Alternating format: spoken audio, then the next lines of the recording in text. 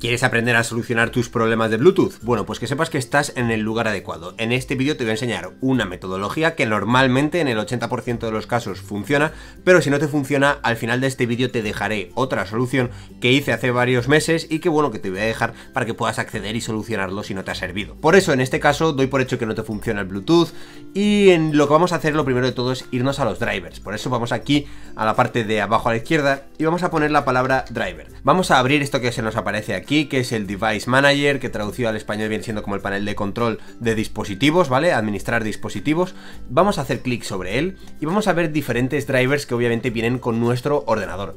A ver, lo primero de todo, doy por hecho que el ordenador que estás intentando arreglar tiene Bluetooth, es decir, no intentes meterle Bluetooth a un ordenador que desde el principio no tiene Bluetooth.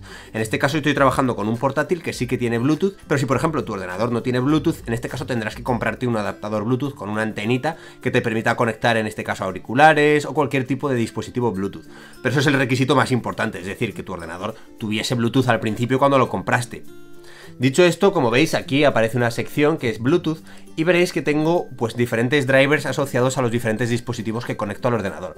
En este caso a los AirPods, también tengo el Bluetooth Device Protocol este de aquí, el de Intel R, etc.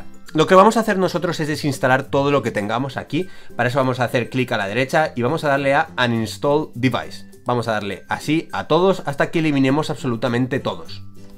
No te preocupes absolutamente por nada en este sentido, porque no vamos a hacer nada irreversible. Vamos a darle a Install y vamos a hacerlo para todos. Hasta que, como veis, ya no me aparece aquí lo de Bluetooth.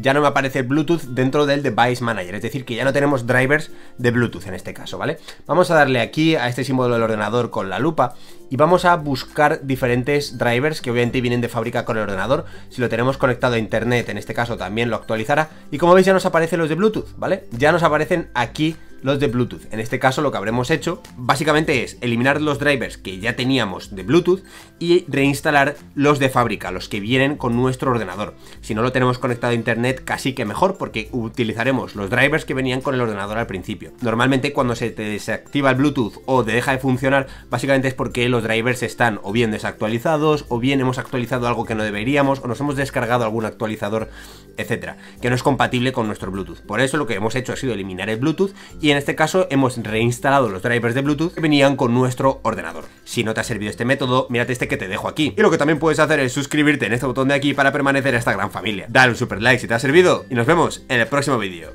¡Que vaya bien!